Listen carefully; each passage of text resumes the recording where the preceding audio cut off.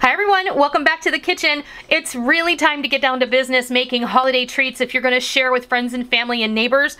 And today I've got the easiest of easy. We're gonna make these delicious, crispy, crunchy pretzel turtles. And I can't wait to show you how they all come together.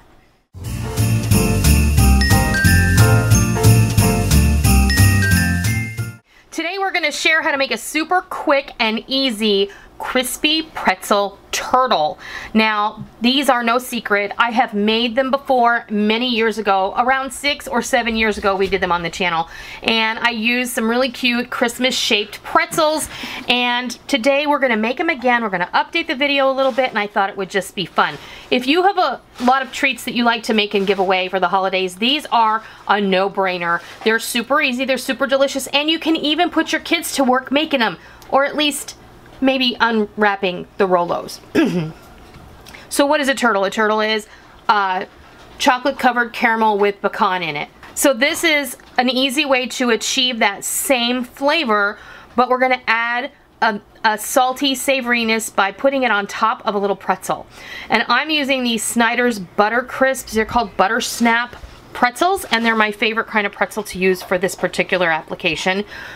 I like the shape, it's interesting, and when these are all finished, they're just perfect. They're a perfect little bite, and when you add them to a little um, cookie tray or gift box, we always like to give a gift box um, to our friends that we, we have a specific number of, of friends that we go around every holiday season and we, we spend a Saturday afternoon delivering and visiting and just having a really good time. So we're going to show you how to make these crispy pretzel turtles today. And what you're gonna need is obviously some pretzels. You can use the mini pretzel twist. You can use, if you can find like the little pretzels that are just the little ring.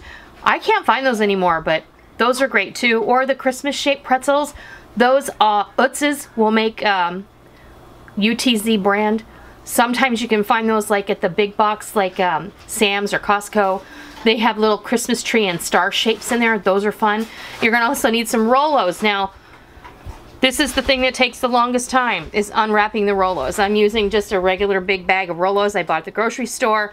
And find someone you can trust to help you. Right. So if you don't think your kids can do this without eating all of them, then, you know, set them to that task. Or your husband.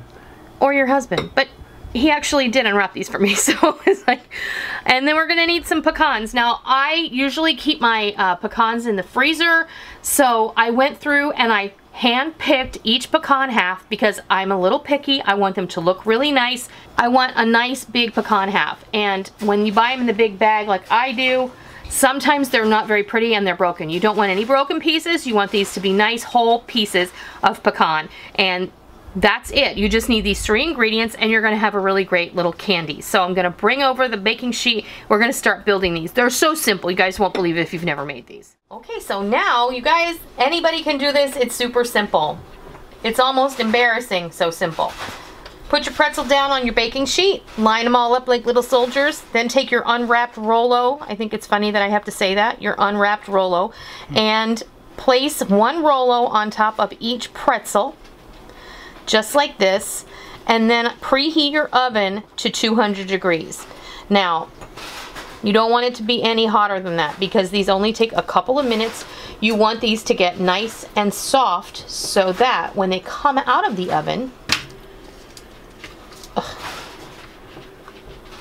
all you have to do is press that toasted pecan half right in there. Now, I if I forgot to mention it, I did toast my pecans. I laid them out on a baking sheet and stuck them in the oven while it was preheating. I didn't have to expend any extra energy because I was already preheating the oven. But now we have these over here and then we're to pop this in the oven which has been fully preheated and we're to put them in there for three to five minutes. And when they come out, I'm to show you what they look like. Little turtles have been in the oven. I had them in the oven for four minutes.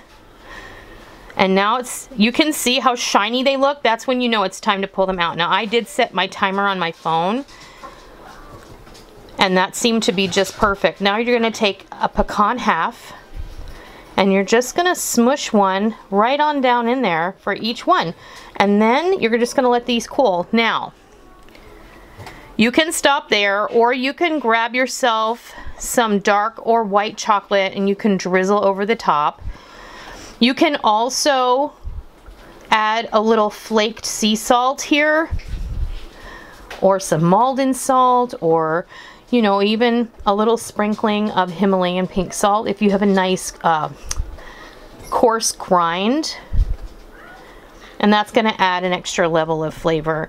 Um, because my pretzels are salted, then I'm not going to do that. I'm just going to leave these exactly the way they are. You can see how nice they look. So I'm going to go ahead and finish these up and then when I come back I'm going to show you what they look like when they're all ready to give away. Our crispy crunchy pretzel turtles are all done. They um, When I finished up I let them kind of hang out on the shelf in my fridge for about five minutes just to set them up. And now I've put them in a beautiful little tin for you just to present. And this is an option for you if you're gonna give these away as a treat. You can make a bunch of them. They're not expensive, they're really easy.